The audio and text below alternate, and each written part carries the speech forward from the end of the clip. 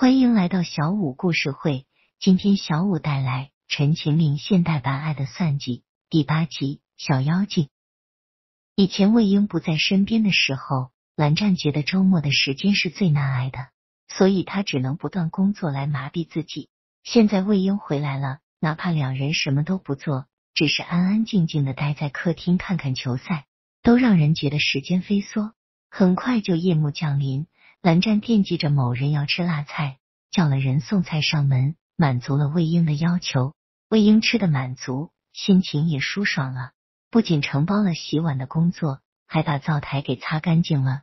这种活，以前的他可是半点都不会动的。他只会在别人干活时腻腻歪歪的挂在人身上，像个考拉似的撒娇。蓝湛被人夸的神志不清，哪里还需要人干活呀？在家里，魏婴只需要动动嘴巴就行。自然会有人心甘情愿为他鞍前马后，所以魏婴是个小妖精，把蓝湛蛊惑的神魂颠倒。好好一个青年才俊，在魏婴面前活脱脱成了二愣子。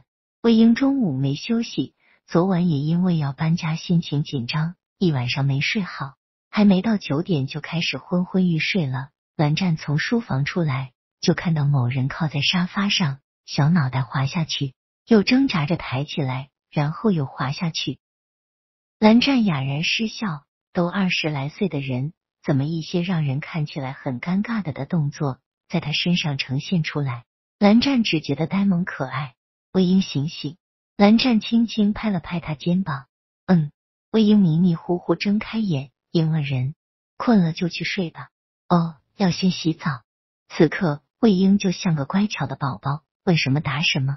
蓝湛怕人迷迷糊糊上楼摔倒了，便跟在后头上了楼，确定某人安全了，浴室里热水都没问题了，才又转身下楼。有几个重要的邮件的先回复。等蓝湛忙完一切，已经十一点。上楼会经过魏婴房间，蓝湛在门外停留了片刻，里面静悄悄的，应该是睡了。拿了睡衣去洗澡。浴室在靠近主卧这边，所以蓝湛来回都要经过魏婴房门。蓝湛习惯每天不管多晚都要泡半个小时的澡。等到他泡完澡再经过主卧时，却听到里面仿佛有些细碎的哭声。蓝湛以为自己听错，便试着去拧了拧门把，门没有锁，一拧就开了。不要跟他在一起，蓝湛，你是我的。伴随着的是低低的燕呜声，就着窗帘缝隙透进来的月光。蓝湛看到床上的人儿抱着枕头睡得很不安稳，声音细细碎碎的，像抱怨也像哀求。蓝湛，不要走，不要喜欢他，你喜欢他，我就不喜欢你了。蓝湛，不许你抱他，你只能抱我，我要你抱抱我。魏婴迷糊间还伸开了双手，蓝湛走近才发现床上的人儿小脸上已经爬满了，不知是汗水还是泪水。紧蹙的眉头让人心疼。蓝湛颤抖着，还带着余温的手掌握上人的小手。睡梦中的魏婴抓住人的手就往怀里带，紧紧的贴在胸口，想揣着个宝贝，怕被人抢了班。蓝湛被人拉着手，只好顺势也躺了下去。蓝湛要亲亲，你好久没亲我了，你是不是不喜欢我了？没有不喜欢，我很喜欢你，魏婴，我只喜欢你一个人。不会喜欢别人的。即使知道人是在睡梦中，蓝湛还是很郑重说出了自己的承诺。那你亲亲我。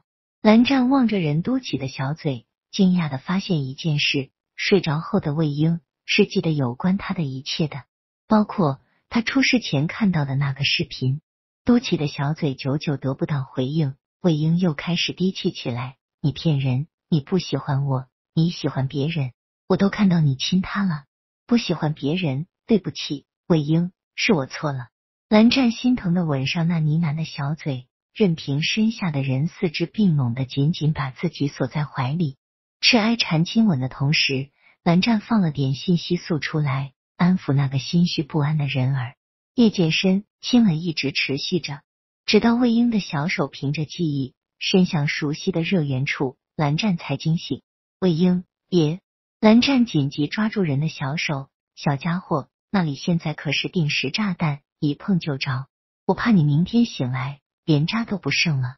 摸一摸，小气，要不你摸我的，我不小气。魏婴反手握住蓝湛的手，把他拉到自己的热源处。这蓝湛欲哭无泪，似乎看到历史又要重演了。摸一摸，小气，要不你摸我的？我不小气。魏婴反手握住蓝湛的手，把他拉到自己的热源处。这蓝湛欲哭无泪，似乎看到历史又要重演了。那里很热，很烫，跟自己的比起来不相上下。蓝湛光是手被碰到，心就燃烧了起来。摸摸二哥哥得不到自己想要的，某人开始撒起娇来了，小脸红红的，声音软乎乎。蓝湛不知道自己上辈子是做了什么大逆不道的事，这辈子上天才安排了个妖精来折磨自己。关键是这小妖精自己又喜欢的紧，不舍得骂，不舍得打，甚至还想把人家当祖宗一样供起来。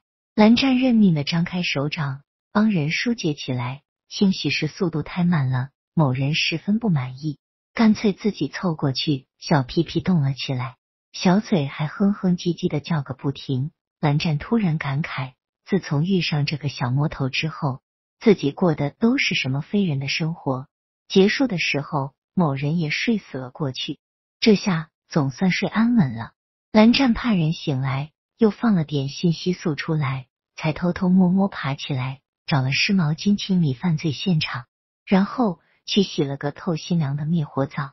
第二天清晨，某人神清气爽地爬起来，哼着小歌，到楼下厨房看见蓝湛时，还很热情的打了声招呼，然后惊讶的发现，蓝湛，你昨晚没睡好吗？魏婴看到蓝湛眼睑下方一片青紫的，蓝湛皮肤本来就白，一点点黑眼圈就反衬的很明显了。蓝湛幽怨的望了某人一眼，不吭声。怎么回事？一大早就不理人，孩子都还没生呢，就开始摆脸色了。哼，你不理我，我也不理你。魏婴扭头一甩，走人进了书房。过了一会儿，房门被敲了敲。魏婴吃早餐，我不饿，不吃。魏婴赌气回了句。回完话后，门外安静了一会。魏婴以为人走了，心里却更气了。也不会多叫几下，哼！结果才刚哼完，门就被推开了。为什么不吃早餐？声音低沉温柔。魏婴怀疑他刚刚的冷漠是不是幻觉。不饿就不吃。刚刚是谁说叫多几下的？可现在是越叫越矫情了。魏婴在心里鄙视自己，这是恃宠而骄。等到饿的时候，胃都受伤了。喂，去吃一点，我给你做了你爱吃的灌汤包。蓝湛一点都没有因为他的语气而生气，反而很有耐心的劝人灌汤包。魏婴光想着那汤汁，口水就要流了出来。算了吧，适可而止，矫情过度那是对自己的惩罚，何必跟自己的胃过不去呢？就算生气，也要填饱肚子先，否则气从何而来？这么想着，那就吃点呗，毕竟做了不吃也浪费，你说是吧？魏婴嘴硬的哼了两句，不情不愿的站起来，先人一步往餐厅走去。蓝湛跟在人身后，看着他迈着六亲不认的步伐，摇头轻叹：“就是孩子心性。”饭桌上，某人吃的相当欢快，一个接着一个，都不带嚼的，仿佛刚才那个说不饿的人不是他似的。慢点吃，蓝湛怕某人咽到了，不停的提醒他，把豆浆放到冰水里。给他放凉了再递给人。